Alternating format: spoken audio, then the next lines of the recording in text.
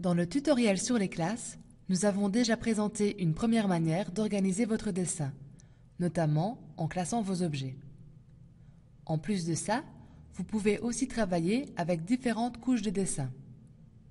Vous pourriez comparer les couches de dessin à différents papiers calques que vous superposez et sur lesquels vous pouvez dessiner avec toutes vos classes et tous les attributs graphiques possibles. Mais c'est encore beaucoup plus que ça.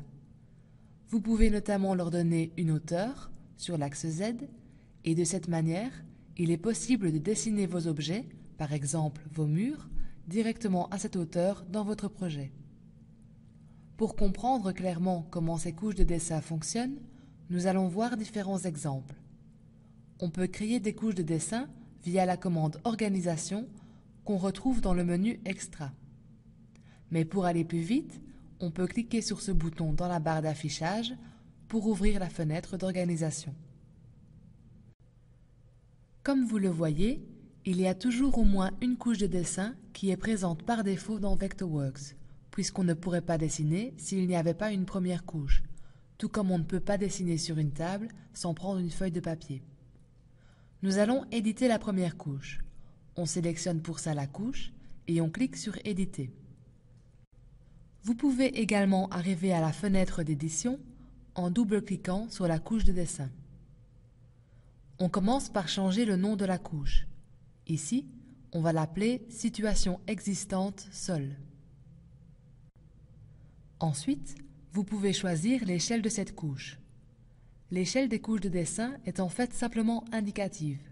En choisissant ici une échelle et en réglant un format de page pour notre dessin, nous pourrons voir à l'avance si le dessin à cette échelle va convenir à un certain format de page. Finalement, on réglera l'échelle dans laquelle on souhaite imprimer au niveau des viewports sur les couches de présentation. Ce qu'il faut éviter de faire, c'est de mettre les couches de dessin à différentes échelles, parce qu'un certain nombre d'options ne fonctionneront pas comme prévu. Et c'est par ailleurs assez logique. Si vous placez deux papiers calques l'un sur l'autre, vous n'allez pas non plus dessiner à différentes échelles dans un même plan. Grâce au numéro d'ordre des couches de dessin, on peut déterminer quelle couche doit venir se placer au-dessus et quelle couche doit se placer en dessous dans la liste. Nous conseillons de toujours utiliser un ordre logique. Les couches de la cave du bâtiment se trouvent par exemple en dessous et les couches du toit se trouvent au-dessus. Dans la hauteur, on peut indiquer le niveau de cette couche. Ici, je vais faire une couche pour le rez-de-chaussée et la placer à zéro. Dans le champ hauteur de mur standard de la couche, vous pouvez entrer la hauteur de la couche, c'est-à-dire la distance entre le bas et le haut de la couche, et donc pas le niveau auquel se trouve le haut de la couche. J'entre ici par exemple 250. On peut ensuite choisir une opacité pour la couche entière. C'est une valeur que je ne change jamais parce qu'on va plutôt adapter la transparence dans les classes. On clique sur OK et la couche de dessin est modifiée. Nous allons à présent réaliser une deuxième couche de dessin. On clique sur Nouveau et la fenêtre Créer une couche de dessin s'ouvre. On donne un nom à notre couche, par exemple Situation existante, plan. Si l'on souhaite travailler avec des classes SFB, on peut aussi importer une classe SFB plutôt que de choisir soi-même un nom. En dessous, on coche la case Éditer les propriétés en refermant cette boîte de dialogue. Et lorsqu'on clique sur OK, on arrive directement dans la fenêtre d'édition de la couche de dessin. On vérifie que l'échelle soit la même que celle de la couche de dessin précédente. Et ici aussi, on entre les bonnes hauteurs. Lorsqu'on confirme, la deuxième couche est créée. Maintenant, nous allons faire une troisième couche, la couche Proposition de projet 1. Au lieu de créer entièrement cette couche, on peut partir d'une couche existante. On sélectionne la couche Situation existante Plan et on clique sur le bouton Dupliquer pour réaliser une copie de notre couche. Il ne nous reste plus qu'à adapter le nom, cliquer sur OK, et la couche va reprendre toutes les données de la couche qu'on a dupliquée. On réalise une deuxième copie de la même manière via le bouton Dupliquer. Et on lui donne le nom Proposition de projet 2. On confirme et on peut commencer à dessiner sur nos couches de dessin. Dans cette liste déroulante qu'on trouve dans la barre d'affichage, on active la couche de dessin sur laquelle on souhaite dessiner. Ici, on choisit par exemple la couche de dessin Situation existante Plan. Tout ce qu'on dessine à présent se placera sur cette couche.